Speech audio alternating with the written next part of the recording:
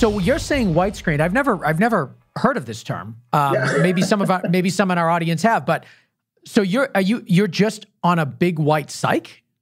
We, we're on a what the word is a big muslin. I have a picture of it that I'll send you. Okay. Um, so it's a, I, in kind of a big horseshoe shape. I surrounded our set with muslin, like a whatever it was, like a fifty foot by three hundred foot muslin, whatever it was. And um, in fact, I have a line diagram I can send you. Oh, please do. All of that yeah. stuff would be really fun to put yeah. in the show notes. Yeah, so we could um, we could backlight through that, basically illuminate that, okay. and let that be our sky. So now we're photographing the source, and we could make it the appropriate color. Just look up on the manifesto what color should it be, you know, and, and program that all in. We we lit it all with SkyPanels, which are color mixable and programmable. So um, I I kind of wrote up a a cue sheet based on my manifesto of, of our first swing at all of these scenes. So the programmer could program the whole movie in and at least have a representation of each scene.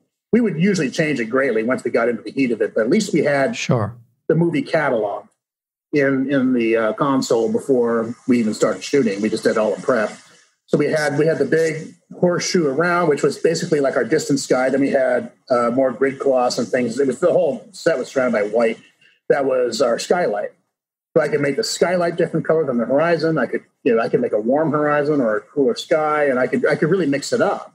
So the whole ship, well, the whole set covered in this white. Yeah. You could blast through any color you needed to. Mm-hmm. So you know your skies are going to be a different color than the ocean, right. highs, lows, all this. Right as the ship is moving, are you also like changing it? So like eh, like you said, when the ship tilts up and the portholes are looking at the sky, there's going to yeah. be a different color than yeah. when it's tipped down and it's facing yeah. the water. So were you programming those light changes in the SkyPanels? I didn't have to because the set was doing it.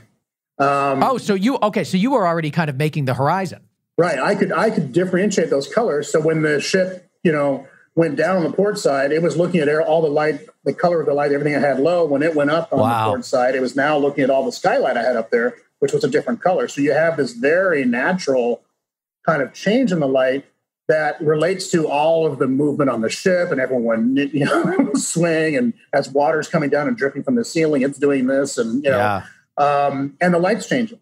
And we didn't have any hard light until the very end. They're in storm conditions the entire time, which at first I think, okay, that's going to be boring, just be in kind of top soft conditions all through the whole movie. And, and I thought, okay, what I have to do is really mix up these times a day. You know, since since Tom wrote the the movie, you know, observing these different shifts that came in and out um, every four hours, the time of day would change. So it would it would go from late afternoon to dusk to night, which mm. they turn on their red lights, and they had a whole separate kind of deal for night.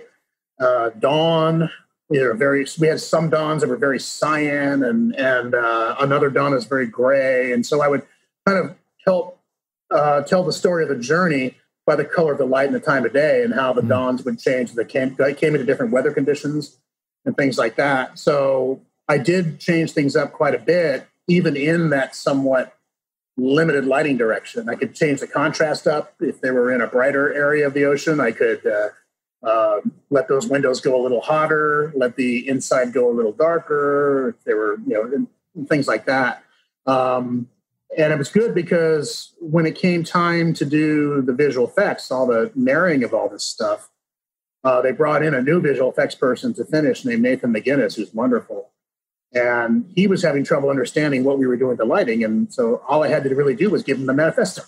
Say, well, here, here's yeah. what we did. Here's the plan. And he read it. Like, oh, I had no idea we could do all this. Said, yeah, this is this was by design from the beginning. Here's how the horizon should look. Here's the color of the water. Here's the color of the sky. Wow. Here's the clarity. Here's here's how much atmosphere is in the air.